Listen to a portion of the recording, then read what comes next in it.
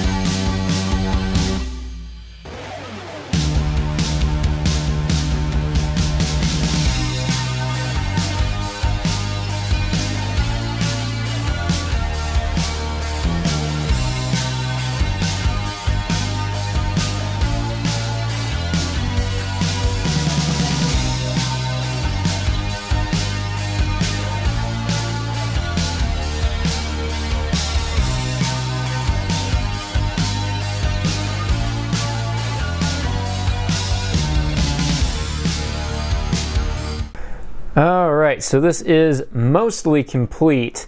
Uh, we're not quite completely finished with it yet. I need to get uh, power input and output wires put into it and hooked onto the current sensor board and the main uh, MOSFET in there. It turned out uh, reasonably okay. My soldering job's kind of messy. I'm not the best at building prototypes like this, but uh, Anyway, I think it will work. I am going to test some stuff out before I put the Arduino and the uh, more sensitive chips in it. I'm going to go ahead and hook it up to a current limited power supply first, measure a couple of voltages to make sure that we're okay. Then we will go ahead and test this out and we'll check the basic functionality of it. We'll see how well this works now that it's on a proto board here. Also, another thing I want to mention, I left quite a bit of space in this area so that I can add more things to it or put on one of those uh, STM blue pill boards as they're called because uh, I'm kind of thinking about using one of those for this project. But anyway, that took a good four hours actually. That was uh, quite the long soldering job. But anyhow, let's go ahead and hook this up somewhere. I should be able to go right under the voltage regulator tab there for the ground and then our 12 volt line is up here. And if I turn this on nothing should really happen. We're drawing about 4 milliamps which is probably just the quiescent current of these two devices here. So I'm gonna grab one of these and one of these and we'll just check a couple of things here in the Arduino. So I'm just going to kind of cross-reference this and see where everything's supposed to be at. Plus, uh, the board is relatively color-coded. All the red wires are positive of some sort. Some of them are positive 12 and some of them are positive 5. So should have probably used separate colors for that, but that's all right. Uh, the yellow is all the LCD digital lines. The blue is the controls for the uh, cell, individual cell balancing, and then all the green is the analog stuff. So first off, between these two points, I should have 5 volts. And I do, 5.00. So at least that's telling me that nothing is majorly shorted out. I'm gonna go ahead and hook up an actual battery to this and just see what happens here. It shouldn't do much, but I can test some of the basic functionality of this thing to make sure uh, everything is hooked up right. If I plug this in, looks like one of our balance circuits is stuck on for some reason or another. Have to see what's causing that. And I should still get 5 volts across this. It's the exact same thing, it's just being powered off of a battery instead of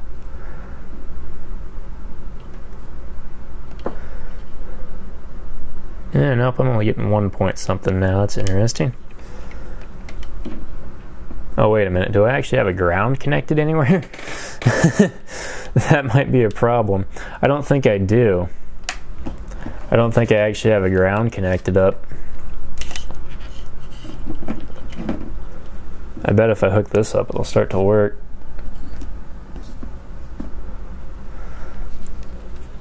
Still don't know why that balance circuit's on there, but figure it out. Yeah, I don't think I have a ground hooked up to the battery, so yep, 5 volts, there we go. Missed one of the most obvious things I had to hook up. And on the 5 volt line, I should be able to trigger the balance circuit. So there's one balance circuit. There's the center balance circuit, and then the very last one here is just unresponsive for some reason. Another thing I want to check is that our analog voltages all make sense and aren't uh, like way, way too high, like I'm sending 12 volts straight into the Arduino, because that wouldn't be a good thing to have happen.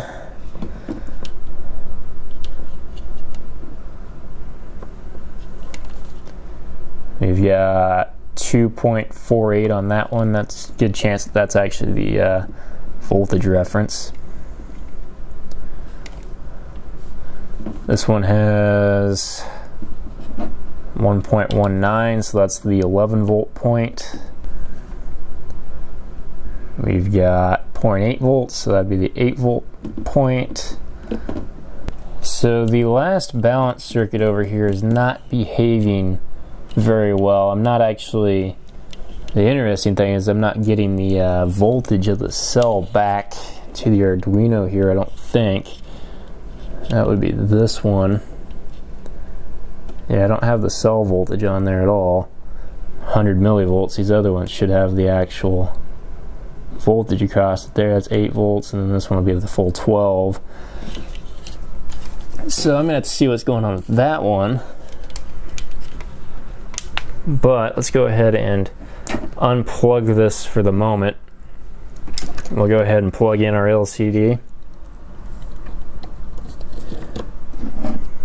And I will get the Arduino that actually has the programming on it. Plug this guy in here. Should go in, there we go. A lot of pins that have to line up. Keep our battery ground hooked up. And the ACS 712 board can go in. We'll make sure the light comes on on that. Let's see if this works. All this stuff comes on anyway. Yep, there we go. The LCD is working. And I don't know if you can see it there, but the light is on on the ACS 712 board, so that's got power. Uh, all the voltages are just going to be completely wrong right now because we're reading zero volts on the first cell.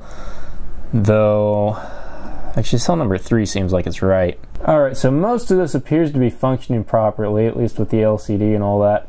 I could go ahead and check and see if the uh, I've got the potentiometer here for the contrast adjustment. Yep, that works just fine. So I've got to figure out what's going on with this cell balance circuit, and then I've got to connect a ground from the battery back over to the Arduino. And then the only thing left to do will be getting all the uh, power input and output wires hooked up on this thing. So uh, I'll go ahead and start working on this. All right, so I found a few problems. One of them was that I had the voltage sense wire for the last cell here that wasn't hooked up in the right spot and also I had the positive 12 volt wire hooked up to the wrong spot on this transistor here and that's what was causing this to stick. So now we are measuring all the cell voltages. I need to calibrate it again. Uh, it's pretty close, it's just not quite perfect. And I also need to uh, get the amp offset set up so that that's at zero again by default. And of course I need to finish what little bit of wiring is left on this and we will have a working soldered up prototype for this thing. So uh, anyway, I'm gonna go ahead and keep working on this and uh, I'll come back to you when it's finished. All right, so this is what the finished product looks like. I have soldered on some leads and some XT60 connectors. So I've got the input and the output as well as our same JST connector for our 3S balancing. On the bottom here, used a bit of hot glue to hold the wires in place and kind of act as a strain relief. Unfortunately, the first time I did this, when I soldered this wire, the insulation melted back and there's a transistor right there and the positive 12 volt line actually got shorted to that transistor and when that happened it blew out one of my Arduinos, but that's okay because I have uh, stockpiles of these little Arduino Nanos, so it's not too big of a deal. But anyway, this is basically the finished product, at least for now. It's enough to do some testing and things on. I also have this board that can be put onto it, and this is something that I showed in a previous video where I can use one analog input pin in order to check four push buttons and then this will be used for navigating the menus and whatnot. Now, as I mentioned before, I got plenty of space if I still want to add some stuff, so I should be good if I do want to change anything with this or add features to it, uh, what have you. Alright, so that's about it for this video, guys. In the next video, I'm going to go over the calibration process for this thing, as well as probably giving it a little bit of a test and see if we can actually charge a battery with it.